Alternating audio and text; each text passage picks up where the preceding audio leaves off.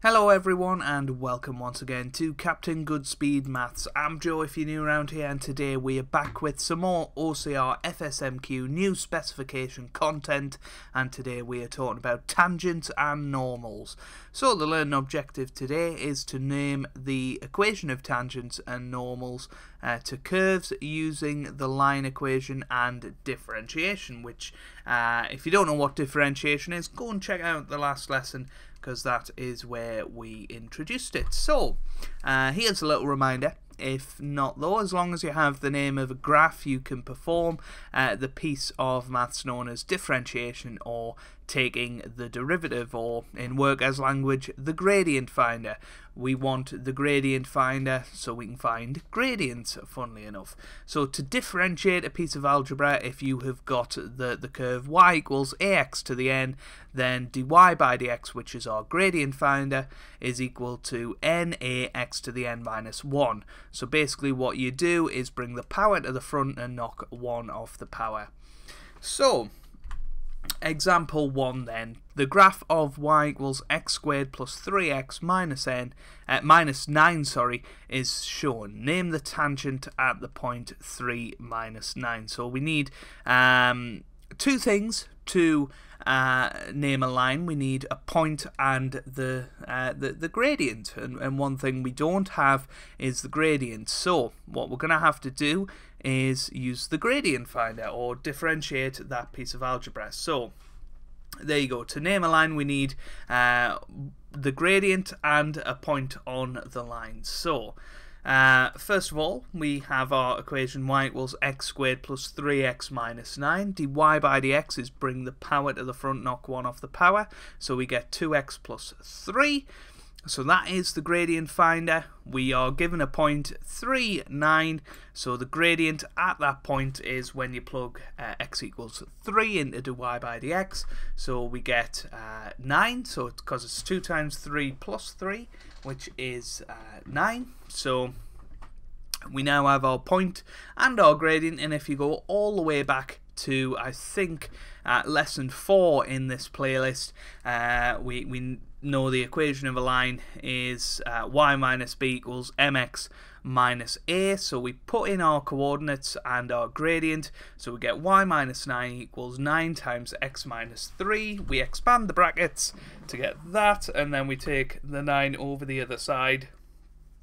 So that line there is y equals 9x minus 18. So there you go.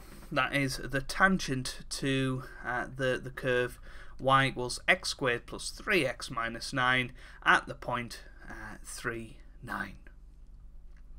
Example 2 then, find the equation of the tangent to y equals uh, 2x cubed plus uh, 3x squared minus 7 at the point where x equals minus 2. So, to name a line, we need uh, the, the gradient and the point on a line. So we know that y equals 2x cubed plus uh, 3x squared minus 9. So if x is minus 2, then we plug a minus 2 into there to get our y coordinate. So if you do that, you get a minus 11. So our point is therefore minus 2 minus 11. So we've got our point, we've ticked, uh, ticked that one off. Can we get the gradient? Well, yes, we can. We know we've got something named the gradient finder. So we take dy by dx of that function y equals 2x cubed plus 3x squared minus 7. So you get 6x squared plus 6x. We have our x coordinate minus 2. So we plug that in uh, for the gradient finder. So we get 24 minus 12 which is 12. So we've got our point, we've got our gradient. We now use y minus b equals mx minus a and uh, plug in the numbers so you get y minus minus 11 is equal to 12 times x minus minus 2. So sort out your double negatives first, then expand, then tidy up, and you get y equals 12x plus 17.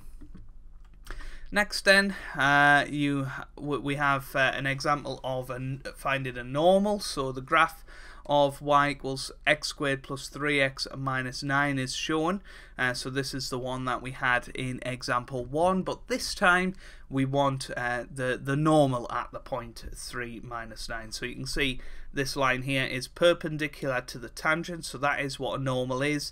It is a line that um, is perpendicular to uh, the tangent. So we want the normal at the point 3, 9. So uh, a normal meets a tangent at 90 degrees, so their gradients have a relationship. Now remember what perpendicular gradients are.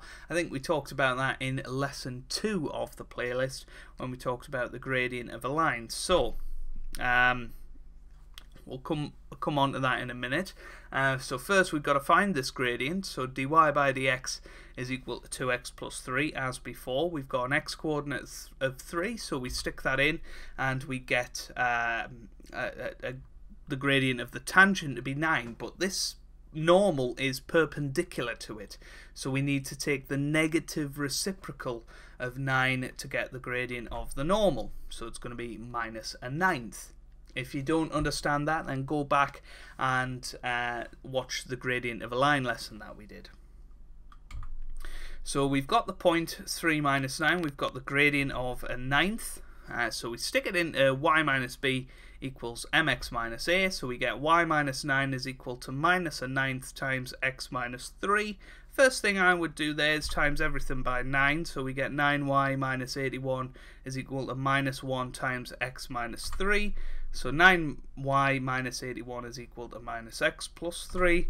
So 9y plus x equals 84. And that's the equation of the normal uh, at the point 39 for that particular curve. Now you could go further and divide everything by 9 again and uh, get the x on the other side. But if the examiner doesn't ask for it don't you know go overkill on it. Just leave it in that form.